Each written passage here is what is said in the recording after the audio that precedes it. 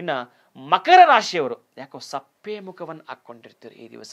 ನಿಮ್ಮ ಕೆಲಸಗಳಲ್ಲಿ ಮಗ್ನರಾಗಬೇಕು ಅಂತ ಹೋಗ್ತೀರಿ. ನಾನು ಏನೋ ಇವತ್ತೊಂದು ಬಿಸ್ನೆಸ್ ಮಾಡಬೇಕು ಅಂತ ಒಬ್ಬರನ್ನ ಕೇಳಬೇಕು ಅಂತ ಹೊರಡ್ತಾ ಇದ್ದೀನಿ, ಅಥವಾ ಯಾರನ್ನೋ ದುಡ್ಡು ಕೇಳಬೇಕು ಅಂತ ಹೋಗ್ತಾ ಇದ್ದೀನಿ, ಇವೆಲ್ಲವೂ ಕೂಡ ಆಗ್ತಕ್ಕಂಥದ್ದೇ.